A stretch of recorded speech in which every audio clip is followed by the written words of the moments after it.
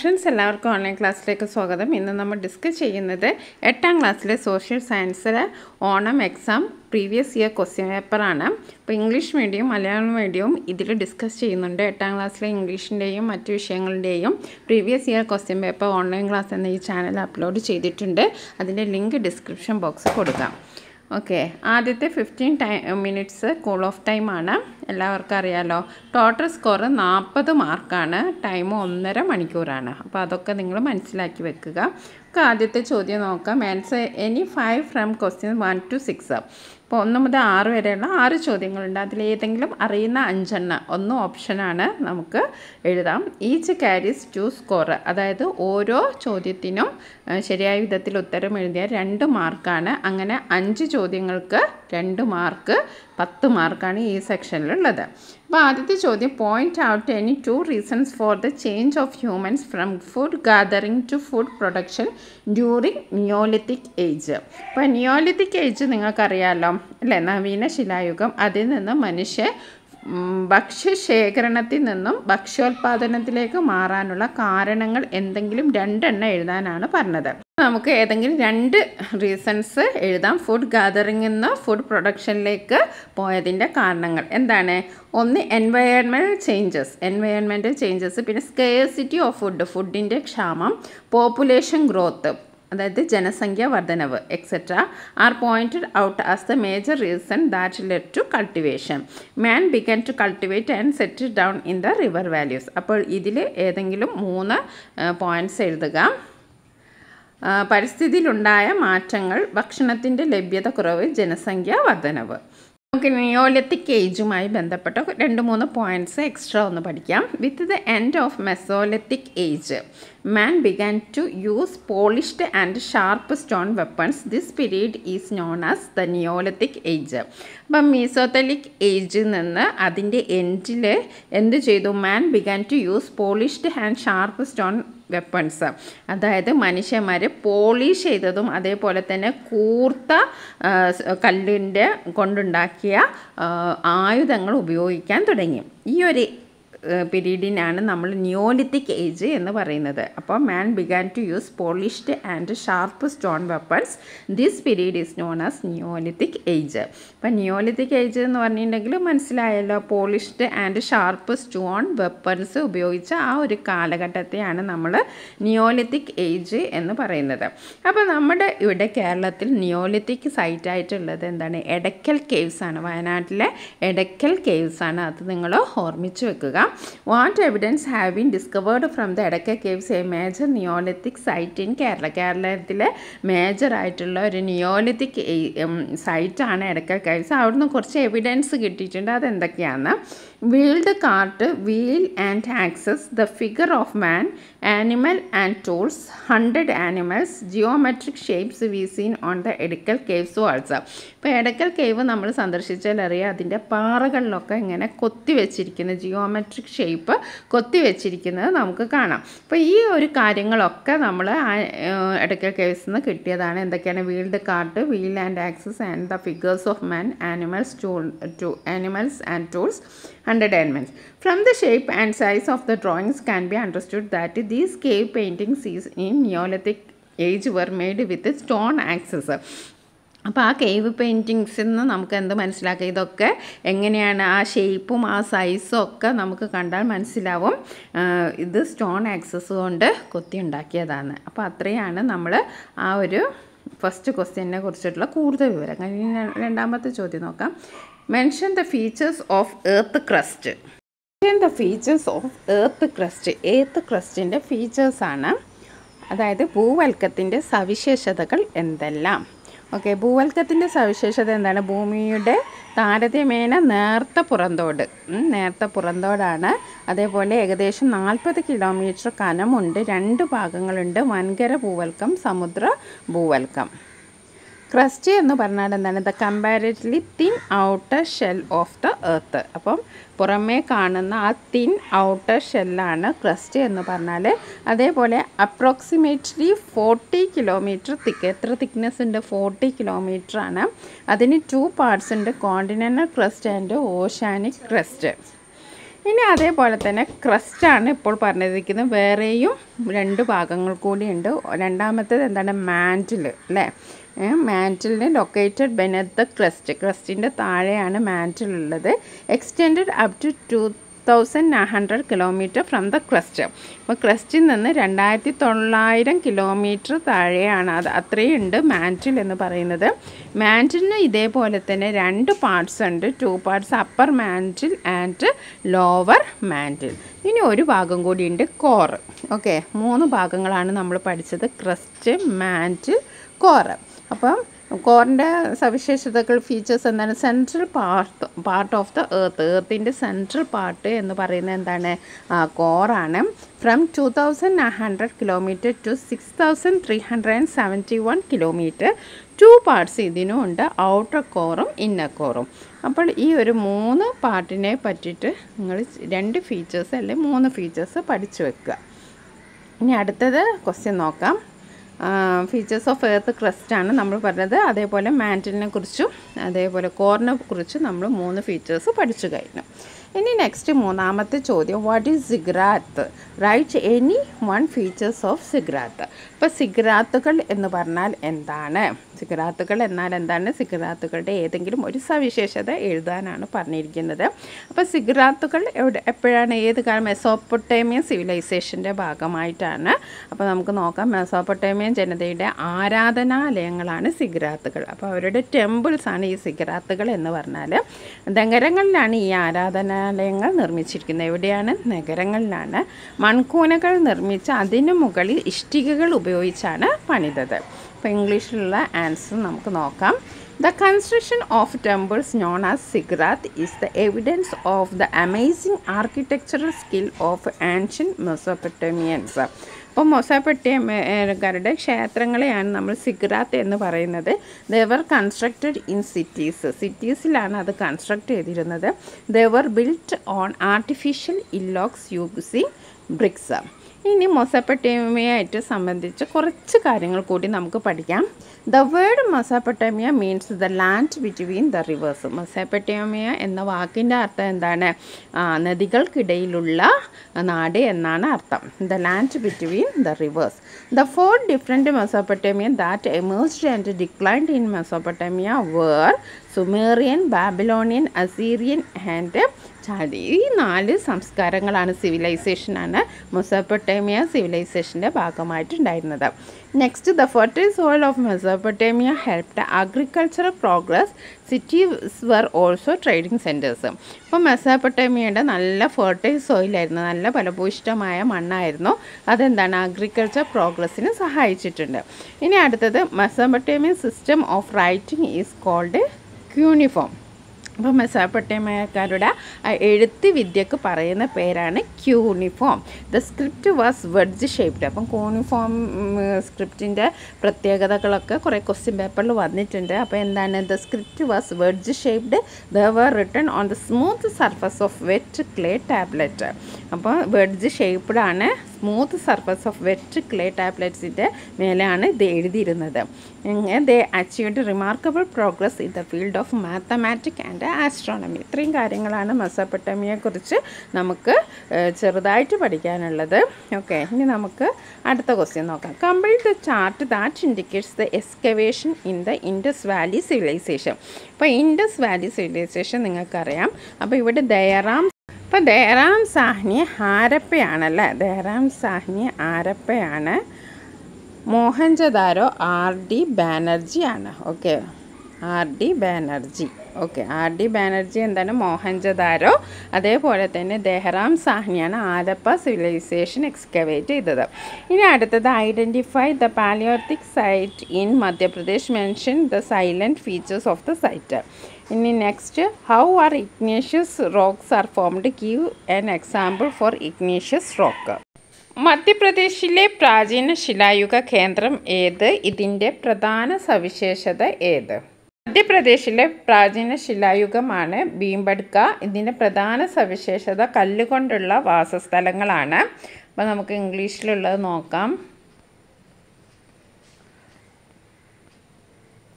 Bhimbetka in Madhya Pradesh is a remarkable palaeolithic site rock shelter was the salient feature of this site okay അപ്പോൾ rock ഷട്ടറാണ് ഇതിന്റെ salient features ഭീംബഡ്ക കൂടാതെ കുറേ sites Palaeolithic ഏജുമായിട്ട് ബന്ധപ്പെട്ടിട്ട് ഇന്ത്യയിലുണ്ട്. ഞാൻ അടുത്ത ചോദ്യം നോക്കാം.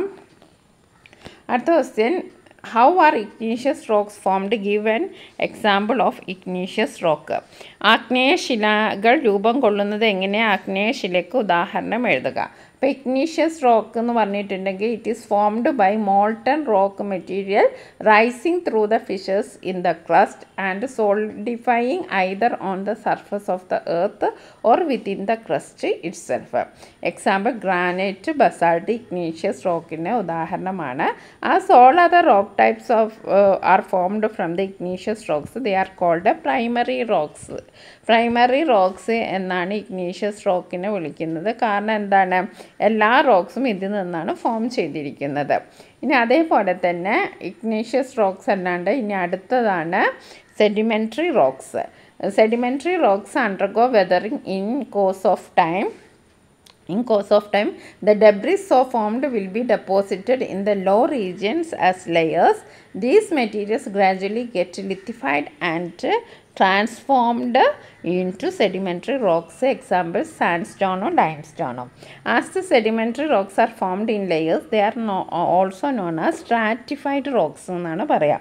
Igneous റോക്കിന്റെ അനദർ നെയിമാണ് എന്ത്? Primary rocks. അതേപോലെ സെഡിമെന്ററി റോക്സിന്റെ അനദർ നെയിമാണ് സ്ട്രാറ്റിഫൈഡ് റോക്സ്. ഇനി വേറെ ഒന്നും കൂടി ഉണ്ട്. Metamorphic rocks. When rocks undergo physical and chemical changes due to high pressure and pressure metamorphic rocks formed example എന്താണ്? മാർബിളും സ്ലേറ്റും metamorphic rocks are prominent in Kerala അപ്പോൾ ആഗ്നേയശിലകൾ മലയാളത്തിൽ പറഞ്ഞാൽ ആഗ്നേയശിലകൾ ഭൂവൽക്കത്തിലെ വിടവുകളിലൂടെ ഉയരുന്ന ഉരുകിയ ശിലാദ്രവം ഭൗമോപരിതലത്തിൽ വെച്ചോ ഭൂവൽക്കത്തിൽ വെച്ചോ തണുത്തുടഞ്ഞ് രൂപപ്പെടുന്ന ശിലകളാണ് ആഗ്നേയ ശിലകൾ ഉദാഹരണം ഗ്രാനൈറ്റ് ബസാൾട്ട്. അപ്പോൾ നമ്മൾ ആറ് ചോദ്യങ്ങളാണ് ഡിസ്കസ് ചെയ്തത്. ഇതിൽ നിങ്ങൾ അഞ്ച് ചോദ്യങ്ങൾക്ക് ഉത്തരം എഴുതണം. അപ്പോൾ ആറ് ചോദ്യങ്ങൾ മാത്രമല്ല അതിനോടനുബന്ധിച്ച് ഒരുപാട് നമ്മൾ ഡിസ്കസ് ചെയ്തു. റിലേറ്റഡ് ഫാക്ട്സ് ഒക്കെ നമ്മൾ ഡിസ്കസ് ചെയ്തു. ഇനി നമുക്ക് അടുത്ത ഏഴാമത്തെ ചോദ്യം നോക്കാം. Answer any four from question seven to eleven each carries three score ഓരോന്നിനും മൂന്ന് മാർക്ക് വീതമാണ്. അങ്ങനത്തെ നാല് ചോദ്യങ്ങൾക്കാണ് ഉത്തരം എഴുതേണ്ടത്. ഒന്ന് ഓപ്ഷനാണ് അറിയാവുന്ന നാലിനെ എഴുതുക. ആദ്യത്തെ ചോദ്യം what is weathering name any two types of weathering weathering എന്ന് പറഞ്ഞാൽ എന്താണ്?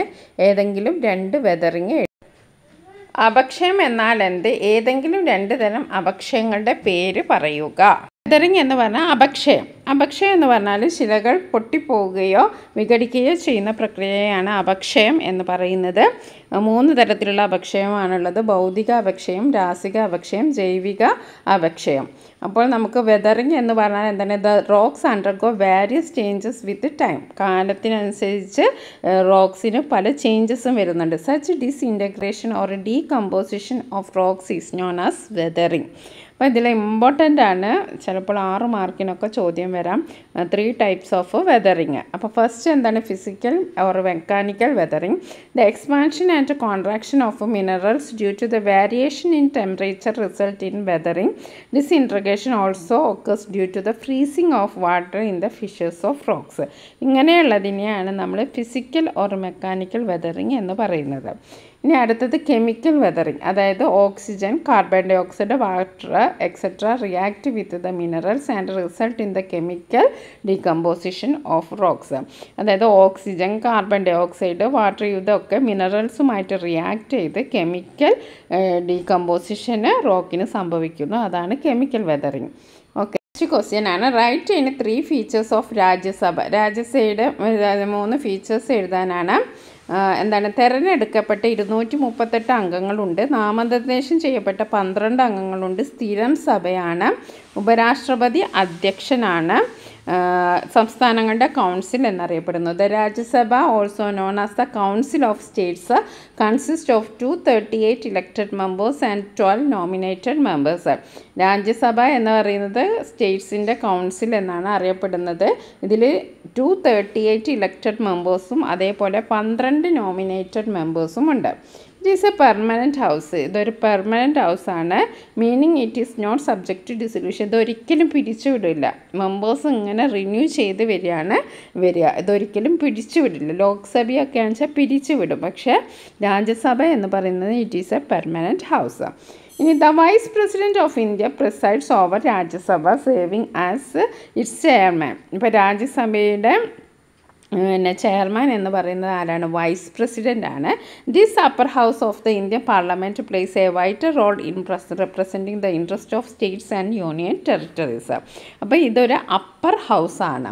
ഓക്കെ ഇനി അടുത്ത ക്വസ്റ്റ്യൻ ആണ് prepare a short note on the drainage system of Harappan cities Harappan സിറ്റീസിലെ drainage സിസ്റ്റത്തെ കുറിച്ച് എഴുതാനാണ് മൂന്ന് മാർക്കിനാണ് the waste water from the houses was let out to the drains അപ്പോൾ വീട്ടിൽ വരുന്ന വീട്ടിൽ നിന്ന് വരുന്ന വേസ്റ്റ് വാട്ടറൊക്കെ എങ്ങോട്ടാണ് പോയിരുന്നത്? ഡ്രെയിനേജിലേക്കാണ് പോയിരുന്നത്. These drains were connected to the main drain of the street അപ്പോൾ ഈ വീട്ടിൽ നിന്ന് വരുന്ന ഓരോ ഒന്നും ഡ്രെയിന് ഡ്രെയിന് ആ ട്രെയിനല്ല മെയിൻ ആയിട്ടുള്ളൊരു ട്രെയിൻ ഉണ്ട്. ആ ട്രെയിനിലേക്ക് കണക്റ്റഡ് ആണ്. The drains were build of burnt bricks and covered with stone slabs effective drainage system existed even in small towns and village ചെറിയ വില്ലേജിലും ടൗൺസിലും വരെ ഇങ്ങനത്തെ എഫക്റ്റീവ് ആയിട്ടുള്ള അഴുക്ക് ചാൽ സിസ്റ്റം ഉണ്ടായിരുന്നു. ഓക്കെ വീടുകളിൽ നിന്നുള്ള മലിനജലം ചാലുകളിലേക്ക് ഒഴുകിയിരുന്നു. ഈ ചാലുകളെ നഗരത്തിലെ പ്രധാന അഴുക്കുചാലുമായി ബന്ധിപ്പിച്ചിരുന്നു അവ ചുട്ട ഇഷ്ടികൾ കൊണ്ടാണ് നിർമ്മിച്ചിരിക്കുന്നത്. സ്ലാഗുകൾ ഉപയോഗിച്ച് ഇവ മൂടിയിരുന്നു. The drains were build and covered with stone slabs okay ഇനി നെക്സ്റ്റ് നമുക്ക് അടുത്ത ക്വസ്റ്റ്യനാണ് what made factors influence so soil formation soil formation അതായത് മണ്ണിന്റെ രൂപീകരണത്തെ സ്വാധീനിക്കുന്ന ഘടകങ്ങൾ ഏതൊക്കെയാണ്? കാലാവസ്ഥ ഭൂപ്രകൃതി മാതൃശില സമയം സസ്യങ്ങളും ജന്തുക്കളും. അപ്പോൾ എന്താണ് climate soil formation will be slow in cold environment അപ്പോൾ ക്ലൈമറ്റ് ഇമ്പോർട്ടന്റ് ഫാക്ടേഴ്സ് ഫാക്ടറാണ് അതേപോലെ topography soil will be thin along steep slopes next plants and animals the acid formed as a result of decaying of plants and animals cause weathering of rocks Parent rocks, the minerals in the soil and the structure of the soil opened on the rock from which it is formed. ഇനി അടുത്ത time the thickness and structure of soil depends on the time taken for its formation അടുത്ത question എന്താണ് what information do we get about chalcolithic age from the evidence discovered from discovered from Catal Huyuk അപ്പോൾ നമുക്ക് അതിന്റെ forms of urban settlement existed in this site the major remnants discovered here are the ruins of dwelling the huts were build using mud bricks pictures were drawn on the walls of huts the residues of wheat and barley have been discovered എന്തൊക്കെയാണ്? നഗരജീവിതത്തിന്റെ ആദിമ രൂപം നിലനിന്നിരുന്ന കേന്ദ്രം വാസസ്ഥലങ്ങളുടെ അവശിഷ്ടങ്ങളാണ് ഇവിടെ നിന്ന് കൂടുതലായി ലഭിച്ചിട്ടുള്ളത്. ചളിക്കട്ടകൾ കൊണ്ടായിരുന്നു കുടിലുകൾ നിർമ്മിച്ചിരുന്നത്. കുടികൾ കുടിലുകളുടെ ഭിത്തിയിൽ ചിത്രങ്ങൾ വരച്ചിരുന്നു. Okay. Pictures were drawn on the walls of the huts the huts were build using mud bricks ഇത്രയും കാര്യങ്ങളാണ് നമുക്ക് പറയാനുള്ളത്. ഇനി അടുത്ത നോക്കാം. അടുത്ത ചോദ്യം നോക്കാം. അപ്പോൾ നമ്മൾ മൂന്ന് മാർക്കിന്റെ ചോദ്യങ്ങളും ഡിസ്കസ് ചെയ്ത് കഴിഞ്ഞു. ഇനി answer any two from question twelve to fourteen each carries four score നാല് മാർക്കിന്റെ രണ്ട് ചോദ്യങ്ങളാണ് ഇനി നമ്മൾ എഴുതേണ്ടത്. അപ്പോൾ arrange the items in column A with appropriate items in column B ഇപ്പോൾ ഫറവോ എന്ന് പറഞ്ഞിട്ടുണ്ടെങ്കിൽ നമുക്കറിയാം രാജാവാണ് ദ കിങ്. പിരമിഡ് എന്ന് പറഞ്ഞാൽ എന്താണ്? ടോംബാണ് ഓക്കെ. ഹീറോഗ്ലിഫിക്സ് എന്ന് പറഞ്ഞാൽ സാക്രഡ് റൈറ്റിംഗ് സ്ഫിനിക്സ് എന്ന് പറഞ്ഞാൽ സ്ക്ലപ്ചർ ഓക്കെ. ഫറോവോ രാജാവ് ഫറോവ രാജാവ് പിരമിഡ് ശവകുടീരം ഹൈറോഗ്ലോഫിക്സ് എന്ന് പറഞ്ഞാൽ വിശുദ്ധമായ എഴുത്ത് സ്ഫിനിക്സ് സ്ഫിങ്സ് എന്ന് പറഞ്ഞിട്ടുണ്ടെങ്കിൽ പ്രതിമ. ഓക്കെ. ഇനി അടുത്ത പതിമൂന്നാമത്തെ ചോദ്യം നോക്കാം. അടുത്തത് main the causes for the fall of Harappan civilisation Harappan സിവിലൈസേഷന്റെ തകർച്ചയ്ക്കുള്ള കാരണം എന്താണ് എന്നാണ് വെള്ളപ്പൊക്കം പുറമേ നിന്നുള്ള ആക്രമണങ്ങൾ വനനശീകരണം കാർഷിക മേഖലയിലുണ്ടായ തകർച്ച പകർച്ചവ്യാധികൾ. ഇനി നമുക്ക് പതിനാലാമത്തെ ചോദ്യം നോക്കാം. Complete the table using the difference between palaeolithic age and neolithic age features ഇവിടെ പോട്ടറി തന്നിട്ടുണ്ട്.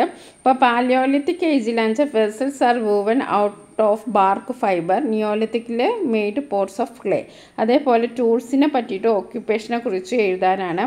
പാത്ര നിർമ്മാണം മരനാരുകൾ കൊണ്ടാണ് പാത്രങ്ങൾ നിർമ്മിച്ചത് മൺപാത്രങ്ങൾ നിർമ്മിച്ചു ഇനി ഉപകരണങ്ങളും തൊഴിലുമാണ് നമ്മൾ എഴുതേണ്ടത്. അപ്പോൾ ഇവിടെ നോക്കുക. ടൂൾസ് എന്താണ്? റഫ് സ്റ്റോൺസ് ആണ് പാലിയോലിത്തിക് ഏജിൽ ഉണ്ടായിരുന്നത്. റഫ് സ്റ്റോൺസ് നിയോലിത്തിക് ഏജിലേക്ക് വന്നപ്പോൾ പോളിഷ്ഡ് സ്റ്റോൺസ് ആയി. ഇനി ഓക്യുപ്പേഷൻ എന്ന് പറഞ്ഞാൽ ഹണ്ടിങ് ആയിരുന്നു. വേട്ടയാടലായിരുന്നു. പക്ഷേ നിയോലിത്തിക് ഏജിലേക്ക് വന്നപ്പോൾ എന്തായി? Agriculture hunting rearing of cattles കൂടാതെ അഗ്രികൾച്ചറും ആരംഭിച്ചു. ഇനി ഫുഡ് ഗാദറിങ്ങിന്റെ നോക്കുകയെന്ന് വെച്ചാൽ ഹൺഡ്രഡ് ആനിമൽസ് ആയിരുന്നു. അവർ ഫുഡായിട്ട് ഉപയോഗിച്ചിരുന്നത്. പക്ഷേ നിയോലിത്തിക് ഏജിൽ വന്നപ്പോൾ ഫുഡ് പ്രൊഡക്ഷൻ ഫുഡ് ഉണ്ടാക്കാൻ അവരാരംഭിച്ചു സെറ്റിൽമെന്റിന്റെ കാര്യം പറയുകയാണെന്ന് വെച്ചാൽ നോ പെർമനന്റ് സെറ്റിൽമെന്റ് ഒരു സ്ഥിരവാസം എവിടെ ഉണ്ടായിരുന്നില്ല. പക്ഷേ നിയോലിത്തിക് ഏജിലേക്ക് വന്നപ്പോൾ പെർമനന്റ് സെറ്റിൽമെന്റ് ആയി. പിന്നെ animal husbandry no widespread pottery ഇല്ല baked earthenware technology not developed polished stone implements potter's wheel weaving cloth making ഇപ്പോൾ നിയോലിത്തിക് ഏജിലേക്ക് വന്നപ്പോഴുള്ള മാറ്റങ്ങളാണ് നമ്മളിവിടെ വിവരിച്ചത്. ഇനി നമുക്ക് മലയാളത്തിലുള്ള ആൻസർ നോക്കാം. ഉപകരണങ്ങൾ പ്രാചീന ശിലായുഗത്ത് പരുക്കൻ ശിലായുധങ്ങളായിരുന്നു ഉപയോഗിച്ചിരുന്നത്. നവീന ശിലായുഗത്തെ മിനുസപ്പെടുത്തിയ ശിലായുധങ്ങൾ തൊഴിൽ വേട്ടയാടലായിരുന്നു. പക്ഷെ നവീന ശിലായുഗത്തിലെത്തിയപ്പോൾ കൃഷിയും മൃഗപരിപാലനവും ആരംഭിച്ചു. ഇനി നമുക്ക് അടുത്ത ചോദ്യങ്ങൾ നോക്കാം. അപ്പോൾ ഇനിയുള്ളത് പതിനഞ്ച് മുതൽ പതിനേഴ് വരെയുള്ള ചോദ്യങ്ങൾ. ഏതെങ്കിലും രണ്ടെണ്ണത്തിന് ഉത്തരം എഴുതുക. ഓരോന്നിനും അഞ്ച് മാർക്ക് വീതമാണ്. അപ്പോൾ രണ്ട് ചോദ്യങ്ങൾക്ക് അഞ്ച് മാർക്ക് വീതം പത്ത് മാർക്ക്. ആദ്യത്തെ ചോദ്യം ഹാരപ്പിലെ ധാന്യപ്പുരകൾ കൃഷി എന്നിവയെക്കുറിച്ച് വിശദമാക്കുക. രണ്ടാമത്തെ ചോദ്യം നവീന ശിലായുഗത്തിലെ സാങ്കേതിക നേട്ടങ്ങൾ വിശകലനം ചെയ്യുക. മൂന്നാമത്തെ ചോദ്യം ജീവന്റെ നിലനിൽപ്പിന് മണ്ണ് സംരക്ഷണം അനിവാര്യമാണ് ഈ പ്രസ്താവന സാധൂകരിക്കുക. ഓക്കെ. അപ്പോൾ നമുക്ക് ഇംഗ്ലീഷിലുള്ള ചോദ്യം നോക്കാം. Explain the features of granary and agriculture in the Harappan civilisation അപ്പം granaries are significant among the ruins discovered from Harappa അപ്പോൾ ഹാരപ്പയിൽ നിന്നുള്ള അവശിഷ്ടങ്ങളൊക്കെ കണ്ടെത്തിയെന്ന് നമുക്ക് മനസ്സിലായത് അവിടെ ഗ്രാനറീസ് അതായത് സ്റ്റോറേജ് ധാന്യപ്പുരകൾ ഉണ്ടായിരുന്നു.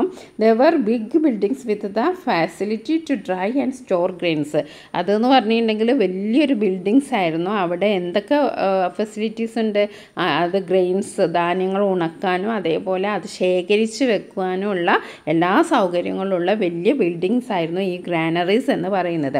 The remains of wheat barley millet sesame pulses etcetera have been found here അപ്പോൾ ഇതിന്റെയൊക്കെ അവശിഷ്ടങ്ങളൊക്കെ അവിടെ നിന്നൊക്കെ കണ്ടെത്തിയിട്ടുണ്ട്. Evidence of rice cultivation have been uncovered from Rangpur and Lothal in Gujarat അപ്പോൾ റൈസ് കൾട്ടിവേഷൻ അതായത് നെല്ല് ഉൽപ്പാദനത്തിന്റെ എവിഡൻസ് തെളിവുകളൊക്കെ നമുക്ക് എവിടെ നിന്നാണ് കിട്ടിയത്? ഗുജറാത്തിൽ നിന്ന് കിട്ടിയിട്ടുണ്ട്. രംഗ്പൂർ അതേപോലെ തന്നെ Lothal in Gujarat cotton also was cultivated അതേപോലെ തന്നെ കോട്ടണും ഉൽപ്പാദിപ്പിച്ചിരുന്നു. The urban folk depend on the villages for food and work. The villages were the major market for the urban product. ഹാരപ്പയിലെ ധാന്യപ്പുരക്ക് ധാന്യങ്ങൾ ഉണങ്ങാനും സംഭരിക്കാനുമുള്ള വലിയ കെട്ടിടങ്ങളായിരുന്നു ഗോതമ്പ് ബാർലി തിന എള്ള് പയർവർഗങ്ങൾ തുടങ്ങിയവയുടെ അവശിഷ്ടങ്ങൾ ഇവിടെ നിന്ന് കണ്ടെത്തിയിട്ടുണ്ട്. കൃഷിയുടെ കാര്യം പറയാച്ചാൽ ഗുജറാത്തിലെ രംഗ്പൂർ ലോത്തൽ എന്നിവിടങ്ങളിൽ നിന്ന് നെല്ല് കൃഷി ചെയ്തിരുന്നതിന്റെ തെളിവുകൾ ലഭിച്ചിട്ടുണ്ട്. പരുത്തിയും കൃഷി ചെയ്തിരുന്നു. ഇനി അടുത്തത് ചോദ്യം. നവീന ശിലായുഗത്തിലെ നേട്ടങ്ങൾ എന്താണെന്നാണ്. എന്തൊക്കെയാണ്? മുനയുള്ള മിനുസപ്പെടുത്തിയ ശിലായുധങ്ങൾ ഉപയോഗിച്ചു കളിമൺ പാത്രങ്ങൾ നിർമ്മിച്ചു ചങ്ങാടങ്ങൾ ഉപയോഗിച്ചു തടി കൊണ്ടുള്ള കലപ്പയും തൂമ്പയും നിർമ്മിച്ചു എല്ലുകൊണ്ട് നിർമ്മിച്ച സൂചി ഉപയോഗിച്ച് ചണനാരുകൾ കൊണ്ട് വസ്ത്രം നെയ്തും തടിയുടെ പിടിയിട്ട കൈക്കോടാലികളും കല്ലുകൊണ്ടുള്ള അരിവാളുകളും ഉപയോഗിച്ചു മൺപാത്ര നിർമ്മാണത്തിന് തടി കൊണ്ടുള്ള ചക്രങ്ങൾ ഉപയോഗിച്ചു കല്ല് തടി എല്ലി എന്നിവ കൊണ്ട് ആഭരണങ്ങൾ നിർമ്മിച്ചു ചൂണ്ടയും ചാട്ടുളിയും ഉപയോഗിച്ച് മീൻ പിടിച്ചു.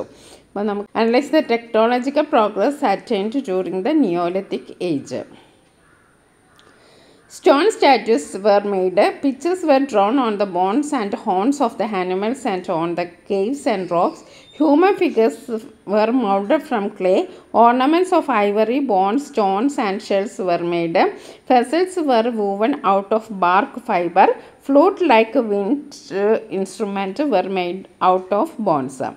Last question ആണ് ജീവന്റെ നിലനിൽപ്പിന് മണ്ണ് സംരക്ഷണം അനിവാര്യമാണ് conservation of soil is essential for the sustainable of life അപ്പോൾ soil conservation is essential for life on earth soil conservation മണ്ണ് സംരക്ഷിക്കണം. എന്നാലേ നമുക്ക് ഇവിടെ ഭൂമിയിൽ ജീവൻ സാധ്യമാക്കുള്ളൂ. It supports plant growth and agriculture ensuring food security അതെന്താണ്? പ്ലാന്റ് ഗ്രോത്ത് ചെടികൾ വളരാനും അതേപോലെ കൃഷിക്കും അതേപോലെ ഫുഡ് സെക്യൂരിറ്റി ഫുഡ് ലഭ്യതയ്ക്കും ഉറപ്പുവരുത്താൻ എന്ത് വേണം? സോയിൽ വേണം. Soil conservation maintains ecosystem balance and biodiversity to prevent soil erosion അതായത് സോയിൽ കൺസേർവ് ചെയ്തിട്ടുണ്ടെങ്കിൽ സോയിൽ ഇറോഷൻ മണ്ണൊലിപ്പ് ഉണ്ടാവില്ല landslide and water pollution conserving soil ensures a sustainable future for all living things വനനശീകരണം നട